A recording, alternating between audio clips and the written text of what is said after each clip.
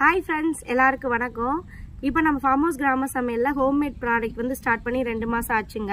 So நிறைய பேர் பார்த்து நல்லா சப்போர்ட் கொடுக்குறீங்க. எங்கள் ப்ராடக்ட் ஆர்டர் பண்ணதுலேருந்து அவங்களுக்கு வீட்டுக்கு போய் சேர்ற வரைக்கும் நாங்கள் எஸ்டி கொரியர்லேருந்து அவங்களுக்கு ப்ராடக்ட் ரீச் ஆயிடுச்சா அப்படின்னு நாங்கள் அவங்களுக்கு நல்லா கேட்டுட்டு ஸோ ப்ராடக்ட் ரீச் ஆனதுக்கப்புறம் அவங்கள்ட்ட நல்ல ரிவ்யூ கேட்குற வரைக்கும் நாங்கள் டீமாக நல்லா ஒர்க் பண்ணிகிட்ருக்கோம் ஸோ ஆதரவு தெரிவித்த எல்லாருக்குமே ரொம்ப ரொம்ப நன்றி. எங்களோட ப்ராடக்ட் பார்த்தீங்கன்னா ஒரிஜினலான பொருட்களை வச்சு நாங்கள் வந்து ஹோம்மேட் அது விறகடுப்பில் எல்லாமே விறகடுப்பு தான். விறகடுப்பில் நாங்கள் தரமான முறையில் சூப்பராக பெஸ்ட்டாக நாங்கள் பண்ணி கொடுத்துட்ருக்கோங்க. ஸோ அந்த ப்ராடக்ட் ரிவ்யூ தான் நான் சொல்ல போகிறேன் பசு நெய் பார்த்தீங்கன்னா ஜாதி மாடு நாட்டு மாடு ரெண்டு மாட்டு பால்களையும் நாங்கள் வந்து பதம் எடுத்து வச்சு சேகரித்து வீட்டிலே நாங்கள் கடைஞ்சி நெய் வந்து விறகடுப்பில் காய்ச்சுறோங்க. பசுனை காய்ச்சிற காய்ச்சுற மெத்தட் பார்த்தீங்கன்னா சீரகம் முருங்கைக்கீரை உப்பு அப்புறம் வந்து பார்த்திங்கன்னா கருவேப்பிலை இதை மட்டும் போட்டு தாங்க நாங்கள் காய்ச்சிறோம்.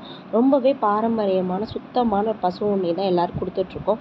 ஸோ இதில் எந்த வித கலப்படமும் இல்லை. நீங்கள் வந்து பாரம்பரியமாக இருக்கிற பசு உண்ணியை வாங்கி யூஸ் பண்ணுங்கள் ஹெர்பல் ஹேர் ஆயில். நாங்கள் இங்கே சுற்றி உள்ள தென்னை மரத்தில் தேங்காய் எடுத்து உடச்சி அதை காய போட்டு தேங்காய் எண்ணெயாக நாங்கள் ரெடி பண்ணுறோங்க அதை வந்து விறகடுப்பில் போட்டு நாங்கள் பதினஞ்சு வகையான மூலிகை பொருட்கள் போட்டு ரெடி பண்ணிகிட்ருக்கோம் உங்களுக்கு ஒரிஜினலான தேங்காய் எண்ணெய் வேணும்னாலும் அதுவும் நாங்கள் சேல்ஸ் பண்ண ரெடி ஒரு லிட்ரு அரை லிட்ரு இந்த மாதிரி லிட்டர் கணக்கில் நாங்கள் வந்து கொரியரில் அனுப்புவோம்.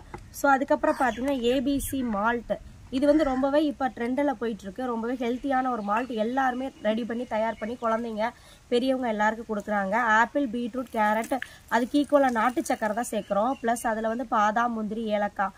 சேர்த்து நாங்கள் வந்து ஏபிசி மால்ட் ரெடி பண்ணுறோம் எல்லாமே விறகடுப்பில் தான் செய்கிறோம் சூப்பராக ஹைஜீனிக்காக சூப்பரான மெத்தடில் செஞ்சு அதை நிழல் காய்ச்சலாக நாங்கள் டுவெண்ட்டி ஃபோர் ஹவர்ஸ் நல்லா வீட்டுக்குள்ளே காய போட்டு அதை எடுத்து அதுக்கப்புறம் பவுட்ரு ஃபார்மாக நாங்கள் வந்து பண்ணி கொடுக்குறோங்க. ஸோ இதுவே ரொம்ப ஹெல்த்தியானது குழந்தைகளில் பெரியவங்க ஹவுஸ் ஒய்ஃபு ப்ரெக்னென்ட் லேடி வேலை வேலைக்கு போகிறவங்க ஜென்ஸ் ஆண்கள் பெண்கள் இருவருமே சாப்பிடலாம். வயதானவங்களும் குடிக்கலாம். ஸோ இது பார்த்தீங்கன்னா பாலில் கலந்து குடிக்கணுங்க.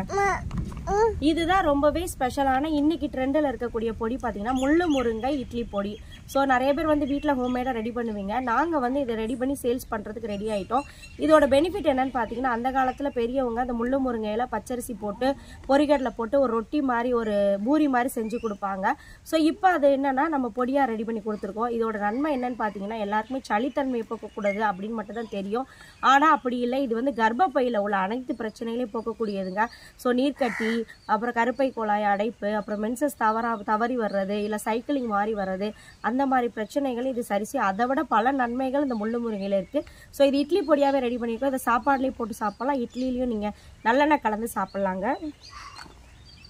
பாரம்பரிய மதுரை மனம் தரக்கூடிய வீட்டு குழம்பு பொடிங்க. கிராமத்து குழம்பு பொடி.